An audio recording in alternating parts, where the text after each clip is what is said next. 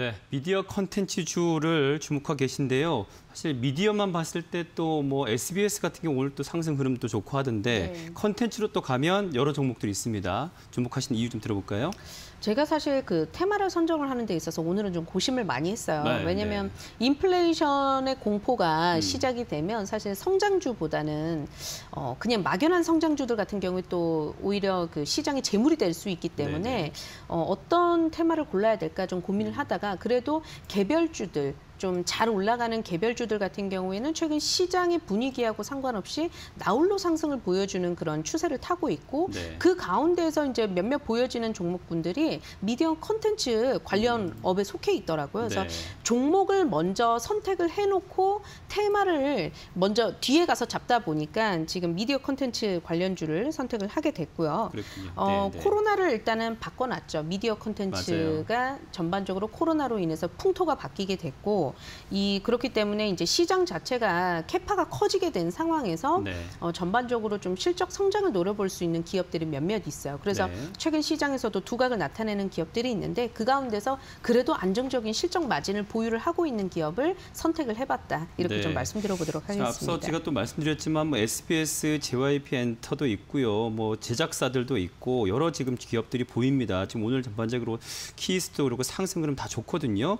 이런 흐름 전반적으로 우리는 어떻게 지켜보면 좋을까요? 네, 이들 기업들 같은 경우에는 지난해에 사실 많이 오르질 못했어요. 그렇죠. 네. 그리고 이제 올해 어, 대다수의 종목군들이 지난해 대비해서 한 차례 레벨업이 된 상황에서 시가총액들을 많이들 보시게 되거든요. 근데 어, 아무리 실적이 좋고 하더라도 시가총액이 5천억, 6천억 더 올라갈 범위가 있을까? 많은 분들이 이런 실질적인 고민을 하게 돼요. 그런데 네. 콘텐츠 관련주들 같은 경우에는 시가총액이 천억 미만인 기업들이 꽤 많다더라. 음. 그리고 시장 의 업황이 이렇게 분위기가 바뀌어가고 있는데 이것으로 인해서 앞으로 어, 조금씩 성장을 해 나간다면 시총 2천억, 3천억까지는 올라갈 수 있지 않을까라는 네, 기대감들이 모여지고 있고요. 그 가운데에서 어, 투자 경고 종목이기는 합니다만 캐리소프트 같은 경우에는 4월 후반 들어서서 본격적으로 오르기 시작했어요. 네. 그래서 오르기 이전의 가격대가 5천 원인데 최근 오늘 시장만 하더라도 고점 가격대가 2만 4천 원대니까 거의 바닥에서 네다섯 배에 가까운 이제 상승이 나타나 기 시작했다라는 거고요. 음. 네. 이렇게 올랐음에도 불구하고 시가총액이 1,300, 400억 정도밖에 하질 않으니까 네.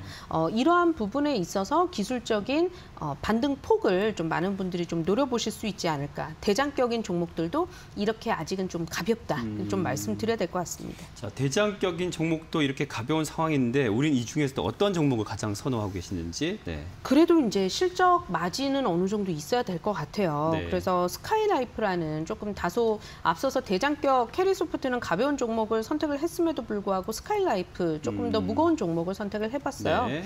이 기업 같은 경우에 시가총액이 이제 4,600억대 KT 그룹 안에 있는 그렇죠. 기업인데 네.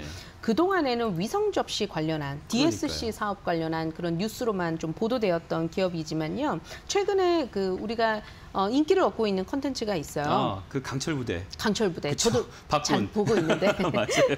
이 기업이 만들었습니다. 네, 채널 맞아요. A하고 공동 제작을 했고요. 네. 어, 이 기업 말 그이 컨텐츠 말고도 오리지널 컨텐츠를 다수 제작한 프로 그 프로그램 경력이 있기 때문에 네. 앞으로도 강철 부대 뭐 2가 될 수도 있고요. 음. 전혀 다른 이제 컨텐츠가 될 수도 있지만 네. 어, 이러한 능력치를 보유를 하고 있는 기업으로 최근에 두각을 나타내고 있습니다. 그래서 어, 오늘 시장에서는 제가 스카이라이프를 보자 이렇게 종목을 들고 왔고요. 기술적인 가격대를 살펴보면 지금 점진적으로 마치 그 강철 부대 시작과 함께 점진적으로 올라서면서 매물대를 돌파를 하기 시작하면서 올라오고 있어요.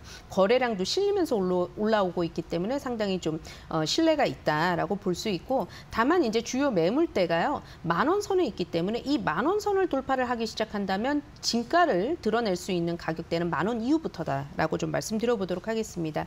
매수가는 9,400원에서 9,600원 선에서 매수해 보도록 하겠고요. 네. 손절선은 어, 8,900원으로 잡아 보도록 하겠습니다.